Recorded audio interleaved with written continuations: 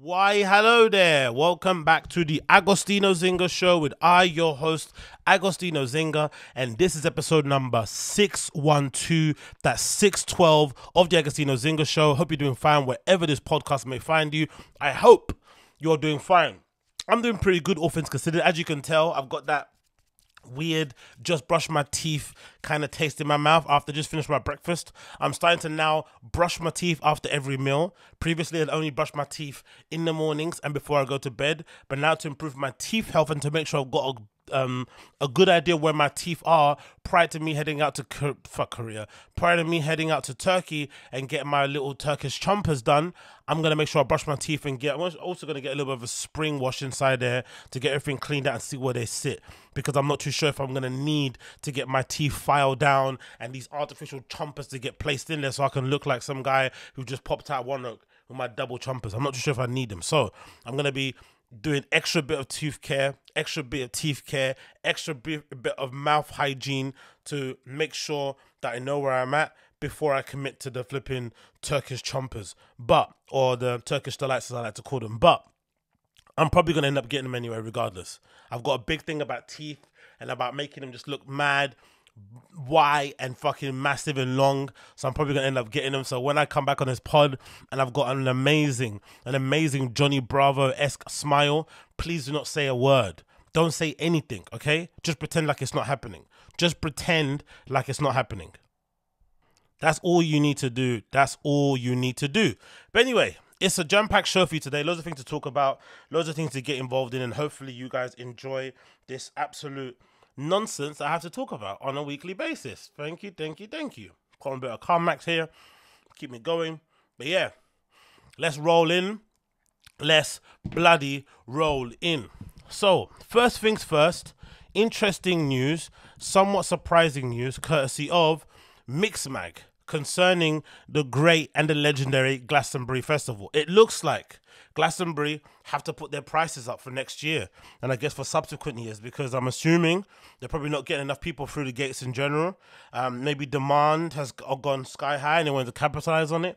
Maybe the cost of production is even more than it was prior, especially now with Brexit, especially now in a post pandemic world.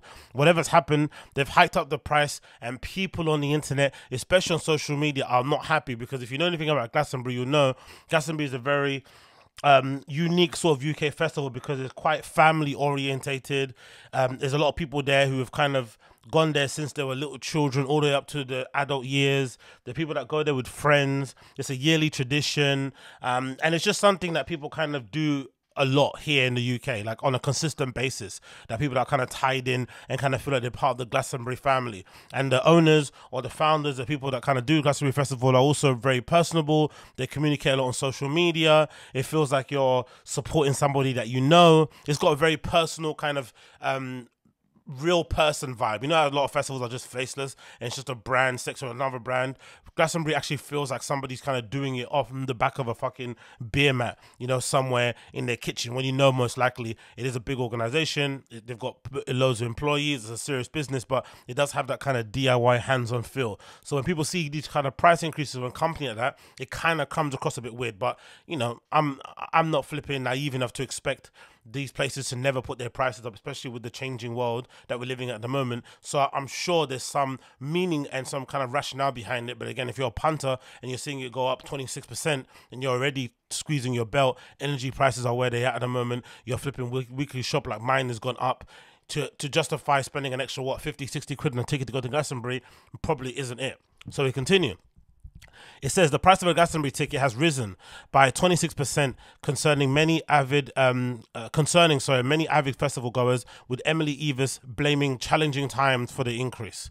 Challenging times is a bit vague, Emily. You got to come with some more stuff though. You got to like really break it down for people. That's what I think places should do. Don't get me wrong; it's not their business to, but maybe to kind of really give them some explanation and to maybe have people rally behind you. Maybe breaking it down to the minutia and saying, "Hey, this is why we have to increase this thing that we bought, you know, a few years ago has now gone up this way, and we need to obviously account for that increase because money isn't coming out. The things that we're making, whatever it may be, just break it down a little bit more, a little bit more itemized. People maybe would have some more sympathy. It continues. Tickets from general sale in 2020 had been priced at 265 pounds with a five pound booking fee, with a minor rise to 280 due to inflation when the event hit resale in 2022. But for the 2023 edition, tickets will cost £335 plus a £5 booking fee. That's pretty insane. They even have to keep the booking fee on there because they need it. Do you know I mean? That's I'm guessing the processing fee. I'm not sure how booking fees actually work. If it's a processing fee for the platform that you're that you're hosting the ticket sale on, because I'm assuming most of these places you use the already services built in. They kind of like, like like an RA or like a Dice. They've got their system already in place, and then you kind of build on top of that. So you have to use their service with Malarkey. So obviously that booking fee goes to that, and the processing fee, blah blah. I'm not sure. Yeah, whatever else but they have to keep the so they they're putting up to free five, free free five, and they're still keeping a booking fee. Festival goers have taken to social media to share concerns over the hike, with a Twitter user saying, "I love Glastonbury, but for many people, this is just unfathomable at this time. It is unfathomable at this time, but this is the only time they could do it and justify it because we're going through what we're going through. It's a weird time we're living in an economy, right? Like everyone's losing money. Everyone's bills are getting, you know, more are getting more are getting higher. Everyone's expenses are maybe going down to to accommodate for the bills going up.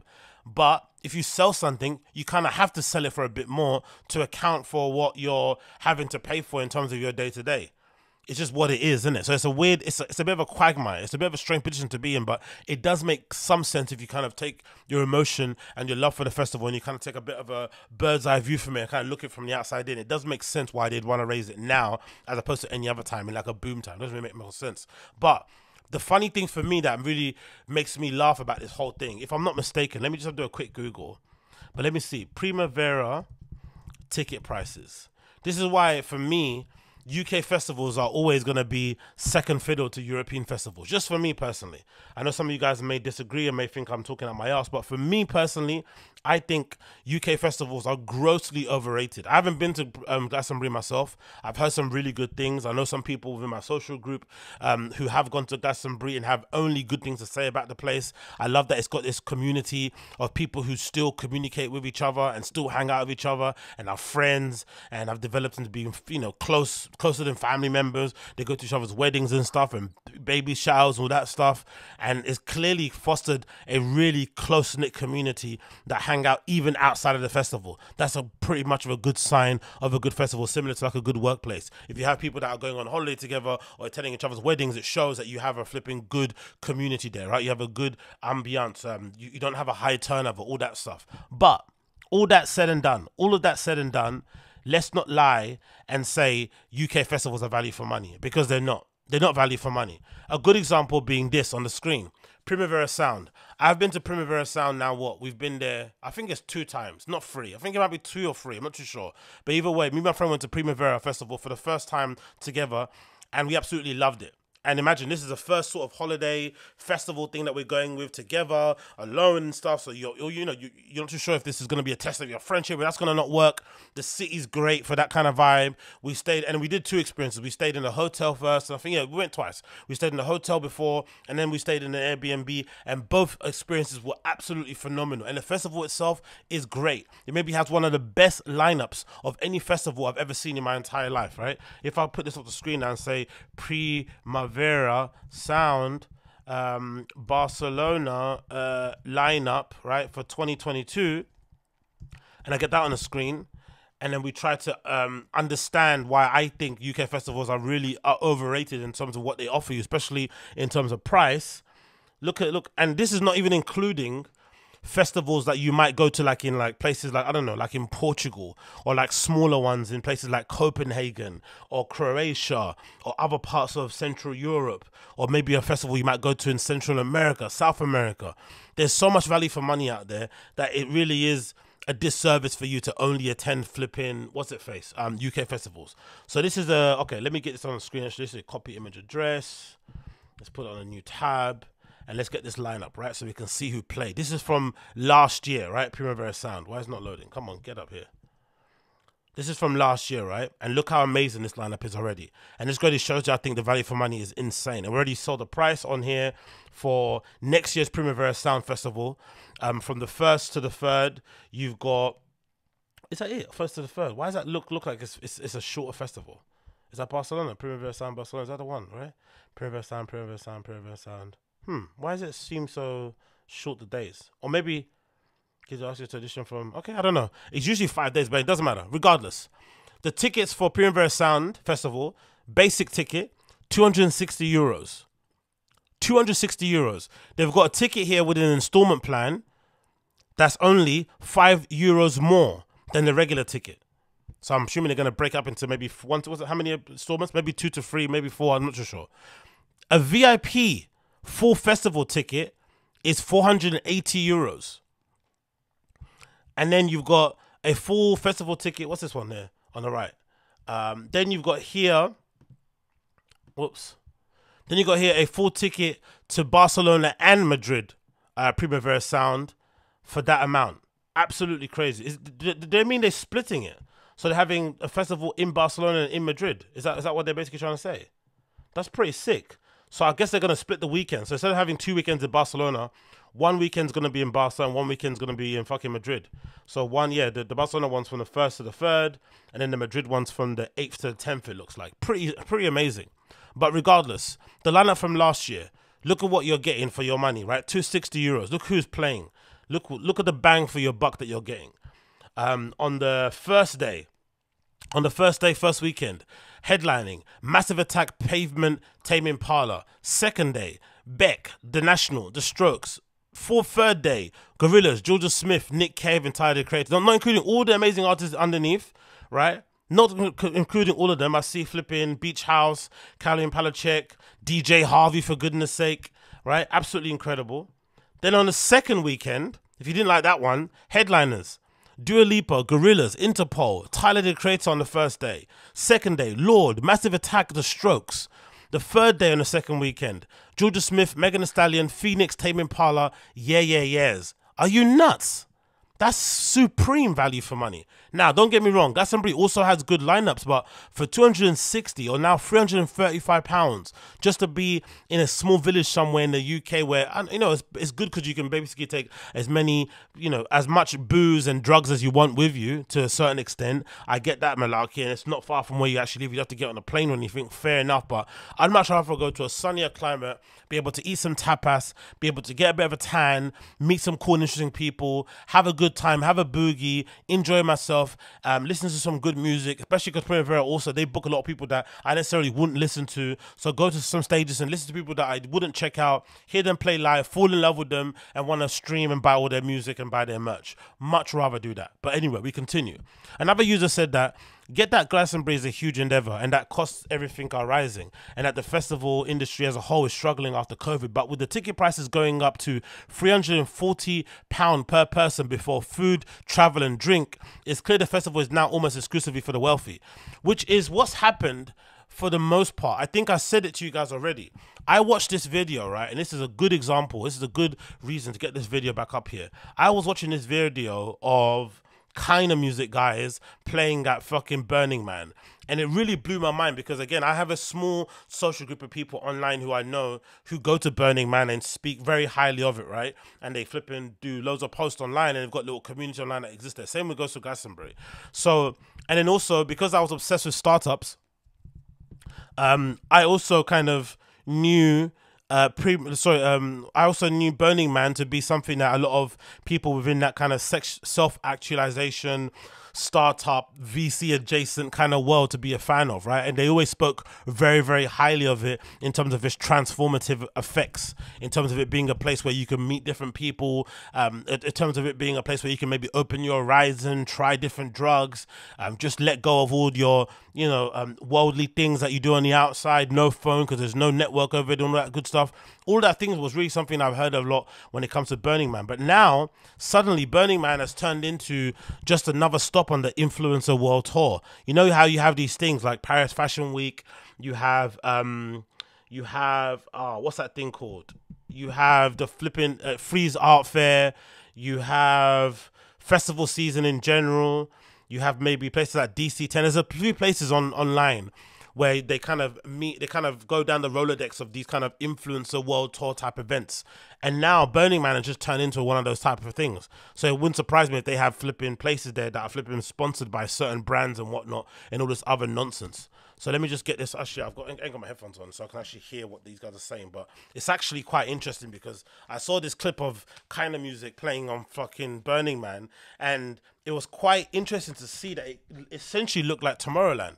It looks very commercial. Again, I don't, have a problem with Tomorrowland. I like big festivals. I like big productions. I like the fact that there is this kind of segment in dance music that exists where if you have some money and you're a baller and you want to have a bit of VIP treatment and you want to go to a rave but you don't want to be slugging it with all us normies down there whilst we're doing our bumps of ket, you can kind of sit in your own little um, section. You can sit in this elevated thing where you're looking down upon us like we're like we're not fucking worthy. I love all that stuff. I think all that stuff is fucking amazing. But, but but there's no denying that the DIY, rough around the edges image of Burning Man that once existed has completely gone. Just take a look at this flipping video of Keinemusik and me, Rampa, and Adam Port playing at Burning Man earlier on. The fact that they have this streamed and this video recorded and stuff just shows you how things have changed.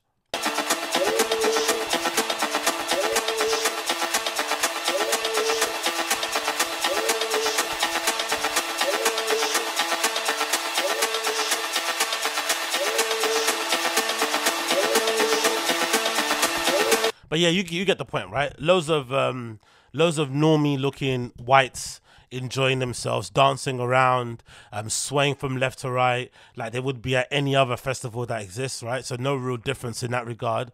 But it is quite interesting to see how Caucasian it is, number one, which is obviously understandable, but also how it looks like any other regular festival. If you didn't recognize the dusty decks from the sand kicking up all over the place in that flipping Nevada desert, you wouldn't really know it was Burning Man. You just think it's any other. You think it's flipping adult Coachella or something. But it's just what it's. That's effectively what it's turned into. And if you're aware of Burning Man, you'll know they have a lot of installment plans and a lot of systems in place to allow people who don't have a lot of money to go there. But still, essentially, you're gonna need to find your find a way to get to the Nevada desert somehow. You're gonna need to find a way to kind of get yourself to the location somehow. So it's still going to cost you some amount of money. No amount of kind of scrimping and saving is going to make you go there for fucking $200. It's not going to happen. So it's always been kind of for the wealthy. And it's interesting to see a festival like Glastonbury, which is, I thought, something that a lot of people would say is a bit more grassroots, has kind of gone that way, unfortunately.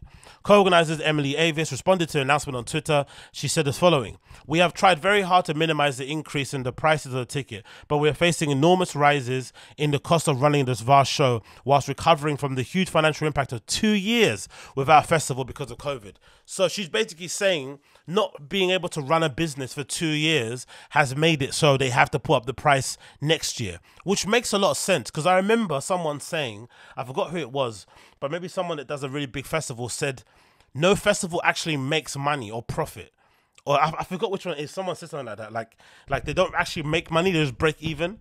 But the whole point of it is to get a lot of brand and sponsorship and whatnot to kind of fund other things that you want to do, or to kind of allow yourself to give yourself a platform so you can have maybe a voice in the industry that you're trying to break into, wherever it may be. That's basically what you're doing it as. So you can imagine a lot of these festivals, especially in the UK, they're breaking even every year. But because they're providing such good times for people, they're launching careers, they're introducing flipping fans to new artists they would never have seen. They're just maybe adding to the local flipping economy. They're providing a fun place for their friends to come and hang out. Whatever it may be, it's gonna give you some sense of um, um, it's going to give you some sense of willingness to go out and do it again next year because it's so much fun, even though you're not making that money because of all the other things that are coming on top of it. But if you have two years of not making absolutely anything, but then you're still having to pay for stuff in the background, because I'm assuming that's what happens. I don't think those people that, you know, hire out equipment or who do the production or wherever else that work at festivals were just not billing people. They had their own bills to pay also. So you're also having to pay that stuff whilst you're not kind of ready to restart, whilst you have no idea when you're going to be able to restart. It must be really, really, really a confusing time. So it kind of makes sense why they're putting it up. But again, like I said, I would have never, to be fair, I would have been tempted before to have paid the price that they had prior, which was what? The prior price was 280 maybe would have tempted me, but still, the fact that I've got a taste of Primavera and the fact that I go on my techno tourism jaunts quite often, I probably would have never followed through. But now it's three, three, five get the get the f out of here with a five pound booking fee. I don't care what happened in the world. I'm not going. But it continues. The £50 deposit on ticket sales in November will be the same as ever, with the balance not due until April. So she's basically saying, hey, you're only going to pay 50 now, relax. You're going to pay the, the, the, rest of it, the whatever, or the 280 or whatever else is left sometime in April. God damn it. And as always, there will be opportunities for many thousands of people to come as volunteers or as part of the crew. So if you want to rave, you have to work for free or try and get a job there. it is incredibly challenging times. We want to continue to bring you the best show in the world and provide our charities with funds which are more vital than ever. And we are always and hugely appreciative of our ongoing support. According to the Guardian, 200, the 2023 um, ticket for Reading and Leeds Festival is cheaper than the 2022 ticket. However, Green Man and End of the Road have also increased their prices. So the Re- Re- Reading and Leeds kind of have to because every year some headliner flipping drops out. And in general, it's full of flipping ketted up, peeled up 18 and 19 year olds. Unless you're a flipping Crystalia, you probably shouldn't be going there anyway. So it makes sense why they're going to put their tickets down so that normal people who probably would never go to Reading at least because they know it's full of flipping kids who lie about their age would end up going there. But Glastonbury is a whole different affair. The what I'm thinking though, what might be interesting at the back of this, what I'm thinking, I just thought about this now maybe this might mean next year we'll see an increase in all those videos people post of them flipping sneaking into Glastonbury. You know, there's that famous guy did one recently that was really cool where he essentially found like an underpass in some lake or some river thing underneath a gate that was looked that looked really gnarly. I was like, look, you have to really like festivals to be willing to crawl in literal muck to watch flipping. I don't know who's gonna be playing. What's his fucking name? Professor Green sing some of his best hits or something. You have you have to be kidding me if you think I'm gonna go and do that. But big up everyone that did do it. But I wonder if we're gonna see a lot more of that happening. Obviously on an official side of things, like content creation, but also people just saying, you know what, I don't care. I'm gonna go to the festival and they're just jumping and for the sake of it. They're not even jumping because they wanna get into the festival. They're jumping because fuck it, just gonna jump in for the clout. And also people jumping because they literally have no money. But I equate going to the festival with no money and attempting to jump it, especially one that's like outside of the of fucking London or it's not where near you live and you have to camp there. I equate that the same as those psycho girls that go to restaurants and try to get sugar daddy to pay for their meals. There's been a few of them on social media who've been posting these things where they're they're like eating and they're fucking turning their head every two minutes like they're fucking Xavi at his peak at Barcelona, watching their shoulders to see if they can catch the eye of some bloody rich guy so you can pay for their bloody dinner. That is that that is meant you have some you have some mental issues. That is that, that is a cry for help. That is a red flag if a girl's going to a restaurant and you know and risking the embarrassment and the shame of not having money to pay so that she can get some old guy to pay for a meal. You're insane. In the same way, going to Glastonbury with a backpack full of fucking you know ketamine and straws and cups and some boxes and some socks and whatnot and some wet wipes with no idea of how you're gonna get in, but hoping you're gonna jump over the gate. You have something wrong with you. But I'm still gonna watch your content. I'm gonna click like and I'm gonna click subscribe. you know what I mean? I might even leave you a comment as well if it's good. I might even give you a super thanks if I like the content. So keep doing your things, especially you crazy white boys out there. I want to see that thing Ragwan. But again, thoughts and feelings go out to everybody that's gonna be suffering through this price hike because that is legitimately wild to pay 335 pounds to go to Glastonbury when you could pay 260 euros to go to Barcelona, not including the flights, not including the accommodation. I know, but still to go see some of the best bands in the world in one of the best cities in the world doesn't make any sense in my opinion. But again, what do I know? So we're gonna continue, even though for some reason my flipping yeah, so we're going to continue and quickly. Actually, I just saw this pop over my inbox, and it looks like Supreme have got a new collaboration with Swarovski and Vans coming out tomorrow tomorrow, or at the time of recording, it should be on a Thursday when you eventually hear this. But it looks like Vans and Supreme have linked up and they've added a little bit of Swarovski crystals on the uppers of these Vans, and it look pretty fantastic. So this is courtesy of Supreme. So follow Supreme Swarovski Vans. This for Supreme will release a new version of the Vans Old Skool. The shoe features a premium suede and canvas upper with Swarovski crystal studded pattern, leather lining, insole, vulcanized waffle outsole, and embroidered logo on the heel. Have I ever said to you many times on the show already that I really, really like Supreme's product descriptions? I think they have some of the best product descriptions on the market right now, without doubt. The detail they go into things, the fact that they flip and break down the components and the features of every item they put down basically makes you feel like you're already, you know, you're already clued in or clued up, even though you have absolutely no knowledge of what you're wearing and you're only wearing it because you're so fucking tired of creator wearing it back in the day. It still gives you some sort of false sense of knowledge or information or intelligence that you clearly don't have. So I love it. I love that they're doing it for the kids. So big up Supreme and Swarovski for that. It'll be available on October the 20th and available in Japan November the 19th. So quite as soon after, right? It's quite, it's like nearly a month after it's going to be released out in Japan. I'm not really too sure why that is actually. There's little asterisk there as to why but you can't actually click or anything. I don't know why that is. It's releasing so late in Japan, but either way, the Vans themselves are absolutely incredible looking. And I'm also liking the fact that in these lookbook pictures they take, these sort of lifestyle pictures, they clearly give it to guys in the team who are part of the Supreme family who actually wear them day to day. And then they take a picture of them after. I'm not sure if that's a wear test or that's part of the shoot, but I love that the fact that the shoes actually look a bit worn in. They kind of, you know, are worn in a style that matches whoever's wearing it so you can see them worn in different ways. And they just have that you know they don't have that kind of plastic sort of like sterile kind of like on the white table in the white cube kind of feel that most sort of product shots have. I really do appreciate it like that from them i'm not going to lie. I'm not going to lie in the slightest. So it's a picture of the Old Skool in purple one of my favorite colors. I think the purple and the red so far i've seen are my favorites. And if you zoom into the actual upper on this kind of pattern, which you usually have this sort of checkered board, supreme classic pattern. On the checkered board, they've got all these little Swarovski crystals um, kind of studded on there. Now, Swarovski crystals, I'm guessing, you know, not all crystals are created equal, and a crystal isn't a diamond, but still, that Swarovski clarity, that shine, that sparkle on the upper just gives a really basic shoe that you would obviously wear because you've got nothing else in your wardrobe because of the most comfortable shoes in your wardrobe to wear. It gives them a little bit more of a sparkle and a shine. The one thing I want to know: Do people exist out there who wear Vans like they wear like Air Force Ones? or like they wear Uggs. Because when I used to wear Vans, especially Old Skools, especially Sk8-Hi, especially half cabs, um, especially Rowleys and stuff, I never found them comfortable. They just looked really good, but they were never shoes that you would wear saying, "Oh yeah, I'm gonna wear this when I go to Paris and I'm gonna walk around the whole city." You don't really do that. You wear you wear them because they look good and because they match your outfit in a way or they complement what you're wearing. But you don't wear them under the you know under the fucking illusion that they're somehow Hoka One Ones or something, or they're um what are those shoes that everyone's wearing now? Those cloud shoes or whatever they're called. I don't know what they are, but they're not a running shoe. They're not a really you know soft sole shoe you feel every single you know street fucking crevice and crack as you're walking down the pavement. But I'm sure there's some people out there that exist who actually wear vans day to day and they make me feel like slippers to them. If that's the fact, please let me know in the chat. I would love to know, or sorry, in the comments down below, if that's the case, because I can't ever picture myself wearing a pair of vans like, you know, people wear flipping Air Force Ones or really soft shoes like Crocs and stuff. It doesn't make any sense to me. But the, yeah, the purple and reds look fantastic here. Really, really well done.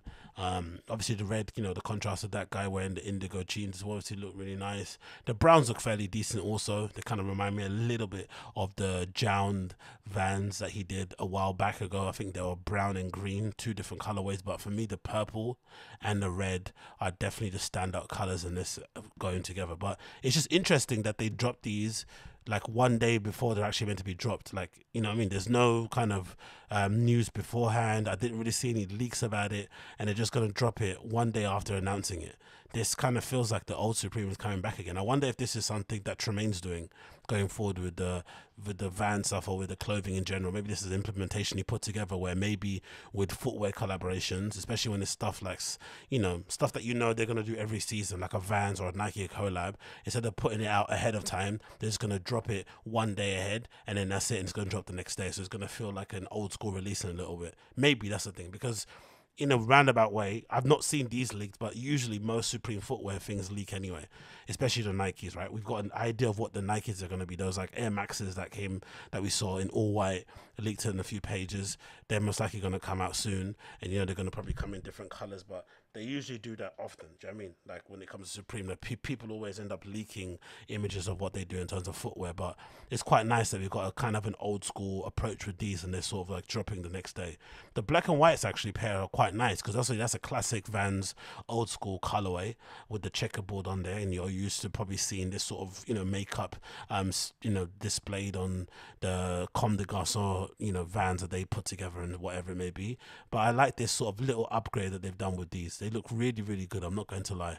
I'm actually a big fan of these in the black and white. But you know, as per usual, when it comes to sort of collaborations with me, I tend to not go for the oh, it's a little detail too that makes it's the details for me that makes sense and that really puts Supreme above all other streetwear brands you remember I mentioned ages ago in this pod that I've got a real kind of bee in my bonnet about stores um, and about you know sites that cover some news concerning sneakers and streetwear, how they have a tendency to not relace the shoes. A big sort of culprit for it is actually Nike themselves. Nike themselves will just take the shoe from the factory floor and just take a picture of it. They won't relace it to make it look good or to you know to kind of complement the shoe. Nothing. It'll just be like laced horribly how it comes straight out from the factory. But look what Supreme have done. They've done the lace system that I like to do, or that most sneakerheads like to do if you're really about that life, where the laces on the left hand shoe, the lace goes over on that side, and then on the right hand shoe it goes on it goes over. Do you get what I mean? If you can get what I mean, kind of. Like it kind of goes like in that kind of V shape, but the lace that goes to to your left on the left hand side of the shoe will go on the top, and the lace that goes to your right will go on the right hand side. It's a tiny little thing that only the most tismed, induced, um, you know, anal person that cares about the stuff would, would care about, but I clearly see it, you know, same way I see this little sparkle here, and clearly it's something that they pay attention to. And I think that really is what separates them from all the other brands. These little things that they care about and these little things that they pay attention to. But I really like those. And then I think there's the next picture that shows the entire collection all together with all the other colorways. And obviously they got those. And there's another good touch too. The embroidered Supreme um, logo on the back of the heel is also a really nice touch because if you're if you're like like me, it doesn't matter if it's a collaboration or whatever, you're gonna wear your your van shoes into the ground. I know I've done with previous iterations of Supreme Vans. The best thing about them, especially you know because they usually end up reselling for a lot. If you want to really flex on people and give them a heart attack, is to wear these into the ground, play football with them, skate in them, go to raves in them, and muck around in them, and people will be like looking at you, oh my god, I can't believe it. But it doesn't really matter. So the fact that they've got the logo embroidered on the back of the heel, it kind of adds to the longevity of the shoe because usually if it's screen printed or it's whatever else they put they do when they heat press it or it's a vinyl application, those things can fall off rather quickly and then you know you're left with nothing. But I'm assuming once you wear this in, the crystals will probably fall off all over the place. This will probably get all muddied and beat up. It will end up looking far better because people will be able to see these little tiny hits of crystals, whatever ones are left, you know, shining off of your shoe. That'd be pretty insane to see. Um, so yeah, I'm a big fan of these and it also kind of harkens back to the golden era of sneaker culture in it right back in the day when people used to get air force ones and turn the the swoosh into a gucci print put crystals on it paint it all that sort of good stuff. So it's nice to see this kind of application. But yeah the brands are quite nice but for me the two colorways i'd get just because you're probably not going to get the same sort of makeup in these colorways. Will definitely be the purples and the red. Those two in the middle are definitely ones that i kind of stand out to me in this regard. But i do like them all. I do like them all. So big up supreme when they come out Get them if you can. If not, you're going to be crying. If not, you're going to be crying. I just had, I just had the most aggressive flipping um, delivery person ever just knock on my on my door, man. Bloody hell. I get it because you know the building that I live in, for whatever reason, the concierge downstairs just doesn't want to open a door to delivery people. I'm not sure if this is a thing that happens in most buildings, but I always assumed if you're a concierge, part of what you do is opening the door for the postman, opening the door for the what you call it, for the tradespeople that come in if they're gonna repair something, you know. Someone might not be, I don't know, whatever. Just people are gonna even repair the building unless they have a code or a key. I'm not too sure, but you just assume you're just gonna be the point of contact there. But I guess for whatever reason, some of them get given the remit that they shouldn't be opening doors to delivery people, and that because the door entry system works, in a way it doesn't really it's meant to be linked to my phone and they're meant to call you directly if they're outside but usually it works when it wants to work kind of thing. So when it doesn't ring through they're obviously stuck outside and they you know they want to flip and deliver the parcels and they keep it moving. And then they can see the guy sitting in there but he doesn't want to open it. So when they so if they get the chance to call you and you put your name on the thing when they call you they're hot So the guy called me thinking I was at home earlier, shouted at me, I wasn't in. Come back in later, and when he knocked the door, I legitimately thought it was flipping MI5 or something. Come to take all my two CBs or whatnot. I don't know. Do you know what I mean? He was like, relax, brother. Jesus Christos, like, take it easy. But yeah, anyway, what can you do? Um, getting back to the topics at hand, um, I wanted to cover this story, courtesy of Highsnobiety, regarding the second collaboration between Dr. Martens and Rick Owens, which looks like it's going to be a long lasting collaboration or like a long um, lasting agreement between the both brand. Because I thought it was a bit of a one off because I kind of thought it was a really big coup that Dr. Martens ended up getting someone like Rick Owens to agree to a collaboration because I had the feeling ever since the Adidas collab, he kind of took a step back from doing collabs with like big, you know, sportswear or footwear manufacturers. Obviously, he does some stuff with Veja at the moment, that vegan shoe brand, but I thought that might be more of a um, principled uh, morals kind of lifestyle type thing because he might be vegan himself or vegetarian or whatever it is, and maybe like that makes sense. But ever since the Adidas collab, I feel like Rick Owens hasn't necessarily wanted to dip his toe back into that kind of pool. What can I think of? That's another thing that kind of defeats that purpose. No, I can't think of anything else. Has he got? No, he's got collaboration with Converse, hasn't he?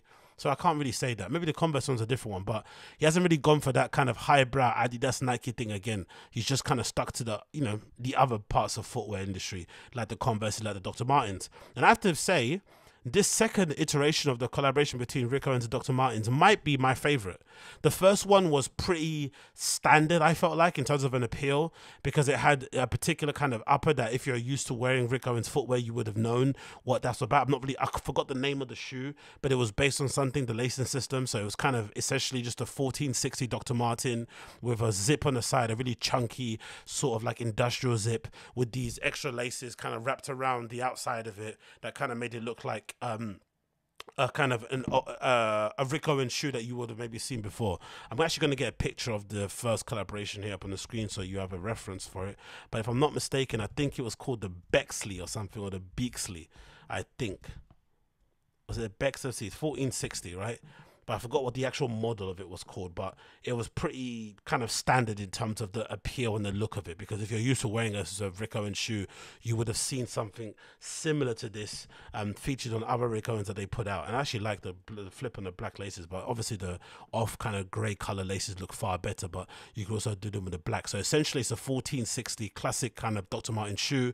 It might have a slightly thicker midsole, maybe than the classic Dr. Martens, or maybe I'm just used to mine being really thin because I wore them out. And then on the upper, it's kind of got this concealed um, zipper that you can't really see here on the top where they where it kind of zips up a little bit here. I'm pretty sure it zips up on the inside, and then there's these eyelets here on the outside, these metal hooks that you kind of lace the shoe around. That kind of copies. Um, yeah, that's what it's called. The, the Dr. Martens 1460 Bex Rick Owens laced. That kind of copies obviously another Rick Owens boot that they put out. I forgot what it's called. What's it based on again? It's based on something. Rick Owens was it based on? Is it is it or inspiration? Let's see if someone has got it. What was inspired by? What was the original shoe? It's a shoe that they've got in their lineup already. Okay, no one's no one's got it featured here, but I'm sure somebody might have spoken about it. But it's a pretty decent shoe regardless. But I have to be honest and say, I think this second iteration might be my favorite so far. I'm not gonna lie. Obviously, the model himself kind of makes it a little bit special by you know basically what the guy looks like. He's covered in these amazing tattoos. He's got this cape on and these gloves and these. Um, I think they're like 1490s if I'm not mistaken. I used to work at Dr. Martin, so I kind of know my Dr. Martens in and out. I think there's a 1490s. Um, the the 14 hole ones, the kind of ones that come up to you just a bit below your knee, and then the other classic ones just the thicker laces and the thicker sole. And obviously that kind of maybe lending to the fact that everybody's wearing these flipping double sole thick Dr. Martin Jadon boots that I have at the moment. Um, I've kind of worn, I've worn through two pairs all the way through from just raving and going out. These tattoos are really cool, man. I've kind of worn through the two pairs, so to see somebody wearing another one as well, and to see them done in recurrent iterations is quite nice with these metal eyelets and these thick laces that go around the front of them, and that extra long tongue that looks pretty cool. So I'm a big fan of those. And then actually see the actual shoe itself, as you can see here. You've got the upper, which is a sort of like tumbled leather all over the top, which is going to be really soft I'm assuming it's leather. I'm not, I'm not assuming it's not vegan. It's got a double sole on the outsole. You've got these metal eye, eyelet loops as well, which help to kind of stop all the fraying and the weirdness on the laces when you're tying them or wearing them day in day out. And these extra thick um, Rick Owens spec kind of laces with this kind of weird off grey color, whatever he does with these laces that he puts the kind of application on there, and an extra long tongue also. So I'm a big fan of it. And of course, the pièce de resistance is the little zip on the outside actually, which is interesting because on most Rick Owens shoes, especially sneakers, the zip is always on the inside which is kind of easy to kind of put it on. So you can kind of squeeze your foot in there because usually this little front bit towards the bottom of the tongue is kind of tight. So it's kind of hard. Well, it is for me to get my fat foot in there. So having a zip on the inside helps to kind of alleviate some of that tightness. But this zip on here on the outside is quite cool because you don't necessarily see it on the outside, like I said before. And I do like the fact that it's always a chunky zip. Um, maybe it's a is it a Riri zip? I don't think it's a Riri. It probably is a classic YK, uh, YKK zip. But those Riri zips, those Japanese made zips are fucking amazing. There's another one too that they use, right? Um, that's Italian. I forgot the manufacturer of it that they use also. That I think I might have a jacket from Flipping Rick Owens that has that zip on it. But yeah, I'm a big fan of that. I love the look of it. Um, all black on the upper, and then on the 1490, you got this kind of pony hair type upper. Um, we've got classic loops with classic eyelets with the metal eyelets here on the top towards these kind of main holes and then all the way up you got these little hoops that go all the way around and I'm a fan of this also. So that's a really really really aggressive shoe but I'm a big fan of these I'm not going to lie. It's just interesting to me that these don't ever appear on a runway. I wonder if that's a an agreement he's put into place or because they had issues producing it because usually when there's collaborations, you would imagine you want to get as much eyes and ears on it as possible. So you just implement them on the runway like they do with Undercover, like they do with Sacai in terms of their Nike collabs. And obviously, Rick Owens did it previously with his first Adidas collaboration. But you don't really see the Dr. Martens features on the runway. You've seen the Converse's featured on the runway, but I haven't seen the Dr. Martens shoe. I wonder why that is. And they are Rick Owens, they're not Dark Shadow either. So it's not like they're like a subsidiary brand or like the what's it, what the what's the word called? There's a word for it where they call the fucking um the cheaper stuff, but it's not even that. It's clearly something else. But yeah, the zipper looks fucking substantial. I'm a big fan of stuff like this because if they if they're adding zippers that thick, that kind of detailing, a zipper that you normally find in a jacket and they put it on the side of a boot, it means the quality is going to be supreme. And of course, the quality of Dr. Martens are always really high anyway. Um, it's very rare that we had people coming into a store saying, "Oh, my shoe fell apart," maybe because of a manufacturing issue, but not because of a quality issue. Do you know I mean? Maybe whoever's on the whoever's on the flipping factory floor didn't glue them on properly, but the quality of them is always always up up up up there. So I'm really keen on these. I think they're absolutely brilliant. I think they actually look far more interesting than this first collaboration, in my opinion. Even though I do like these, and I think they look more, I guess, wearable to the everyday public. Maybe the Converse is another one too that maybe maybe people might be a fan of. But the original ones, actually, the Adidas collaboration, are still some of my favorite collabs. Uh, let's see, Rick Owens, Adidas that was actually, and it's actually one of my favorite looks too on the runway. I think they might have a picture of the kid who was wearing the shoes on the runway, but I think the picture on the runway is one of my favorite um, pictures of uh, Rick Owens' model wearing something. Obviously, that's him at the end of the show, but the shoe itself I thought was awesome. Um, it's basically this shoe here with these kind of big cloud, kind of uh, front foot and four footed heel type things. They look very similar to like a uh, Yeezy actually. Um, so that's pretty cool to see. Um, I'm actually interested why they don't actually have more collaborations between Yeezy and what's his name and Rick Owens anyway in general. But I think these look pretty cool. Can't actually see them on there. Um, let me see if someone's got them on a run runway, an image of them. But I remember there was a model wearing them from time. That was one of my favorite pictures. Yeah, this is from this show. What is it from? Spring, summer, what? Um, from the it's from Spring Summer 14. That's when that year's club. Yeah, that's the shoot. That's the one. One of my favorite looks from that show was this look here that's basically what I kind of envisioned envision myself to look like when I wear fucking Rick Owens. With this kind of leather um, sleeveless kind of vesty thing that's you know elongated with these fucking drop crotch uh, pants with the shoes tied up in that particular way. That's a supreme look man. I'd wear this look right now actually. One of my favorite looks ever from spring spring summer 2014 so yeah big up Rick Owens for putting that together. Hopefully we get to see them soon hopefully we get to see them soon. Moving on from that, we're going to talk about this because I'm I'm interested as to why this brand decided to go in such a crazy different direction considering how good the other stuff was. So this is courtesy of Hype, Hypebeast, and it features No Vacancy Inn makes a comeback with a Born Cancelled collection. First of all, I don't understand the term Born Cancelled, and I don't see how that would relate to No Vacancy Inn. If you're familiar with No Vacancy Inn, you know that one half of No Vacancy is Tremaine um, um, Emory, sorry, who's obviously now the creative director of Supreme and has Denim Tears. And for me, from what I understand No Vacancy Inn to be, it was kind of like a it was kind of like a you know for lack of a better term, like a hotel merch brand that wasn't really much a hotel. It was kind of like a, it kind of traveled around the world, right? Like, like they were kind of, they had no home hence the No Vacancy Inn type of thing, right? You were kind of going all these different places, um, posted up, meeting all these cool and interesting people. Um, maybe they were in cool places, maybe they weren't in cool places, but you're taking inspiration from all these different um, scenarios and scenes and whatnot and feeding them back into the clothes. But a lot of it I thought was quite opulent. A lot of it I thought was quite cozy, was very relaxed, um, didn't take itself too seriously, was easygoing, and just had a vibe of somebody that kind of knew what's up and kind of, you know, um, didn't didn't really want to show and be too showy too much, which is why when I see this instantly, it made me just think of very derivative streetwear stuff. On the screen, we have a couple of varsity jackets, um, some what you call it? I forgot what you call them some combat pants with the bondage kind of tie up where you can kind of adjust the size of how baggy they are based on the zip on the back um, without the bondage straps and some sweats and whatnot. And I guess they're up outside of a school somewhere, I think it looks like. And it just looks like a kind of stereotypical, you know, streetwear brand collection lookbook thing. Nothing really amazing.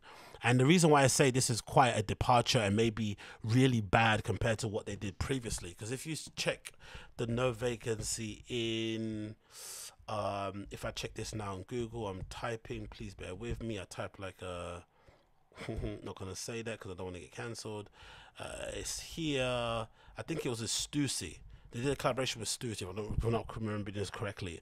And it had, if I'm not mistaken, ASAP Nast on the lookbook, if I'm not mistaken, also. Let's see if it loads up. There we go. Yeah, I knew I remembered it. So, No Vacancy had this collaboration they did with Stussy. Now, again, I guess collaborating with Stussy, it's far easier to produce stuff of this standard because they have all the production, manufacturing, um, clothing expertise to kind of get this stuff done on the cheap, to get it done, quick turnaround, and blah, blah, blah, blah. I understand.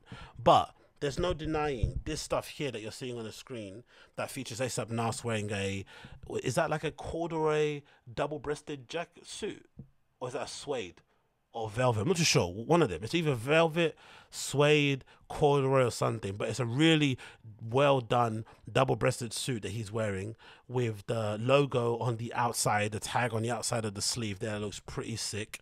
Rolling around somewhere and going to a private members club with one of these on your sleeve, drinking or flipping Negroni at the bar would actually be a bit of a bit of a, a bit of a stunt. I'm not gonna lie. So you got this really nice um, double breasted suit.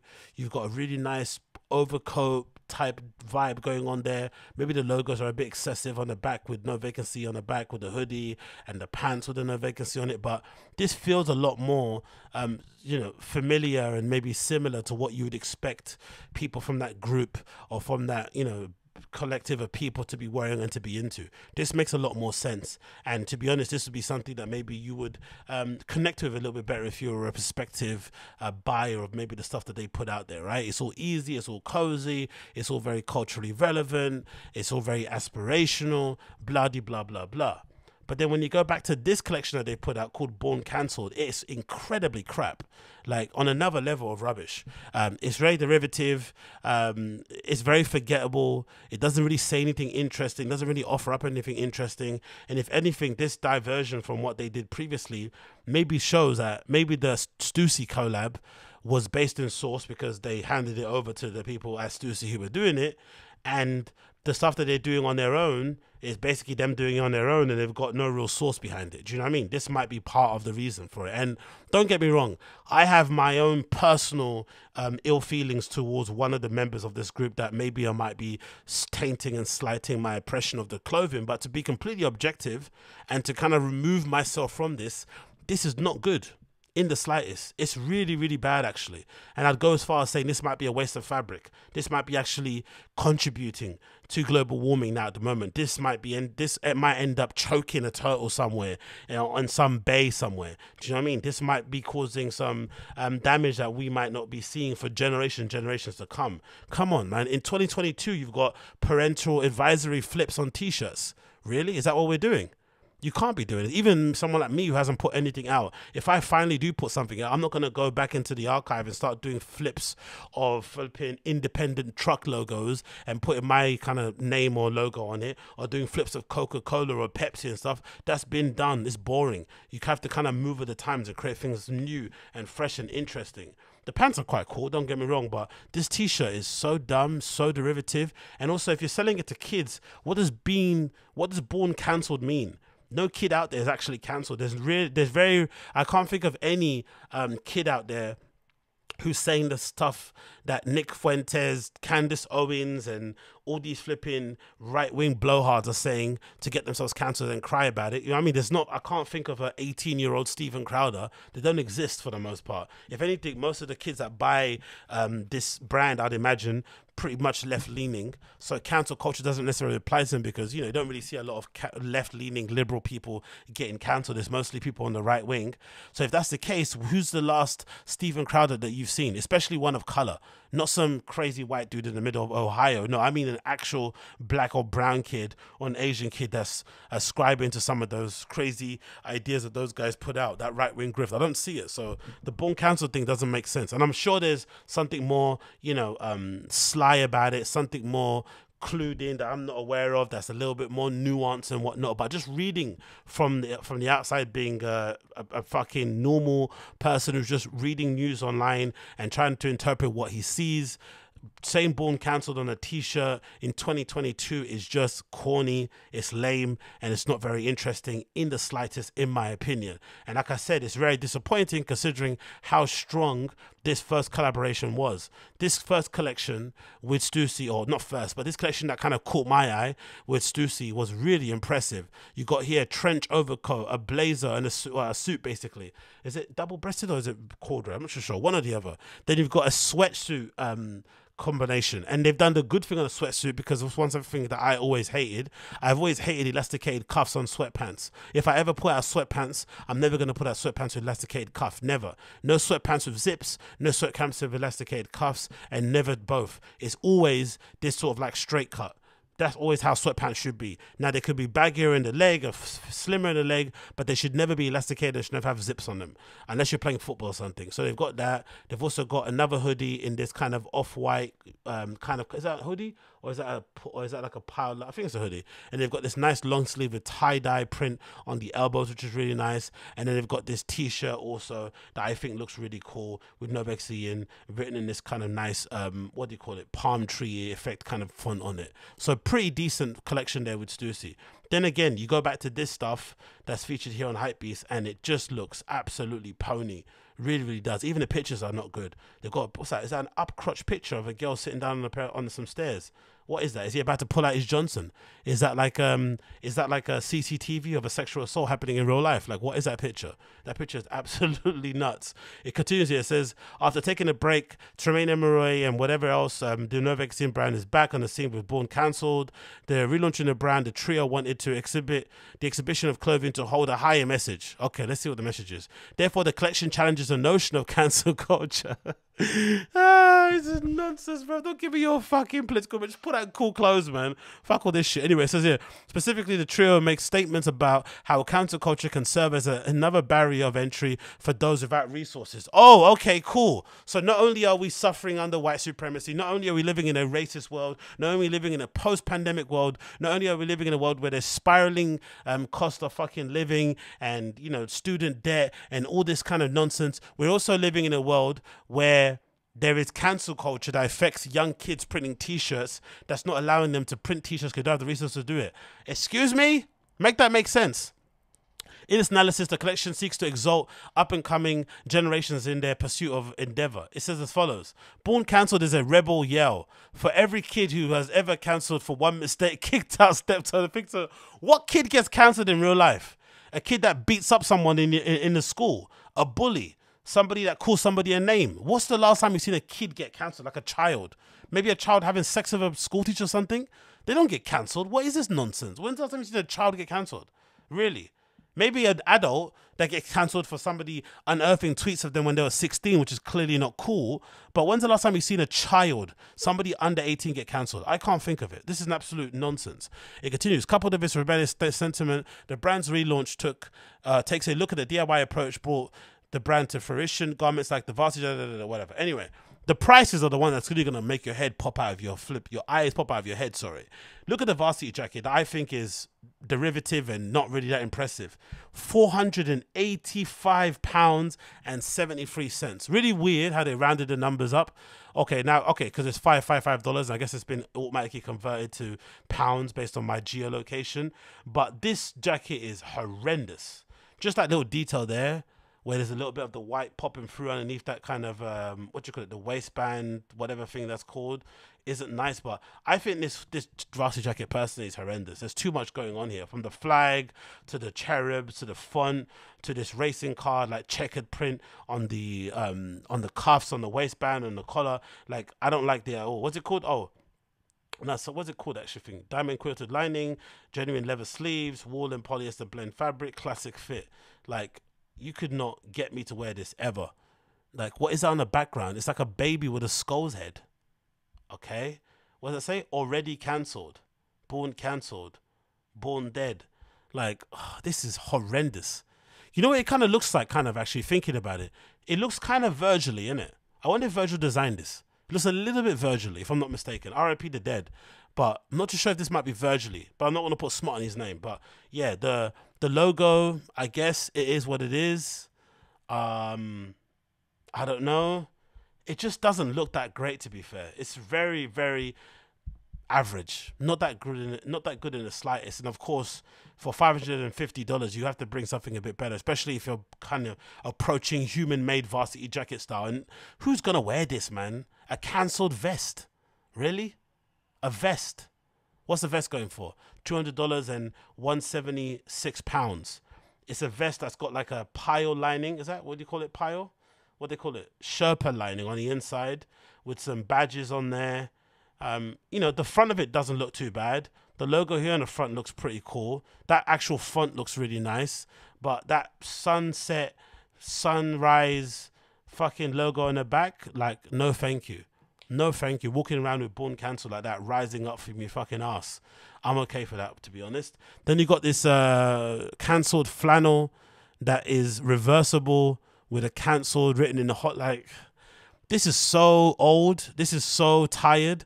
That kind of Hollywood um, script, and then you put in your own letters on there. Like really tired. The best thing about this whole collection, for sure, are these uh, cancelled zipper cargos. These look really cool. To be fair, in the black and the olive. They're really nice. But again, 200, 200 pounds for them, probably not that worth especially when you consider other pants and what they go for from other established brands. You've got this cancelled music tee that's awful. This all over print is awful. This cancelled with the X looks terrible. It looks like something you'd buy from a Project X flipping merch shop. Um, this born cancelled, you know, with the music logo thing is garbage you'd be hard pressed to find anyone wearing this who hasn't been seeded or sent this for free. I can't picture it. Even this this stuff is probably better. And again, get rid of that print at the back. But this logo actually, which is a No Vacancy Inn written in kind of like a newswire type thing with the line. It kind of kind of reminds me of Deadline that old streetwear brand from back in the day that was founded by one of the old Supreme models. That kind of red line that kind of goes through with the no vacancy font written across is quite cool. And I really like the distress hoodie they've used, right? They've kind of, is it over dye, whatever that kind of technique is that you do where you kind of wash out, I'm not. But this X thing that they got going on is horrible, horrendous. The whole thing is really, really bad. And again, it's a real, it's a real departure from the thing they did previously. So, hey, what could you do? You can't win everything, but personally, for me, not really something that I would kind of be on. Um, there's, of course, if I had, if I wanted to, and I had the um, bothering and I had the desire to go out and wear something with all this on there. For sure, this collection will definitely be the ones I definitely wear, um, especially that suit. That suit is absolutely beautiful, but the rest of it, this new collection that they put together, is really a waste of money. To be honest, I don't really see them selling any of this really anytime soon. If people buy it, fair play. My my pick, my key picks out of it is definitely the cargo pants. The rest of it can kind of go missing for me, mate. Not for me in the slightest. Um, so yeah, for me, when it comes to No Vacancy Inn Born cancelled collection, um, it's a huge swing and a miss.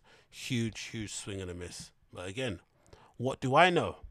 Going on to actually good varsity jackets and tell you the difference of what a bad and a good varsity jacket looks like. Look at this collaboration between Human Made and Undercover. Two former colleagues, two very close friends. Human Made, obviously founded by Nigo, formerly of Bape, and Undercover, founded by Un by Jun Takahashi, um, who's also part of you know that whole streetwear Urahara scene, who actually founded and kind of set up the first nowhere store back in the day with uh, Nigo, where he was selling some of his own stuff, and Nigo was selling some of his own stuff in their own store there. Um, and of course, everyone should know and be familiar what Last Orgy is. And they've got another collection here coming out, um, and this varsity jacket is absolutely phenomenal. It's got a two on the front of it with the obviously the logo there, and then on the front right pocket you've got Jonio and Nigo, which obviously is Jun Takahashi and Nigo. Orgy two, Fuel for the Next Generation since 1991, written on the in script, and these three stars there on the right hand side of the sleeve. Maybe it's a freestyle journal thing. I'm not really too sure.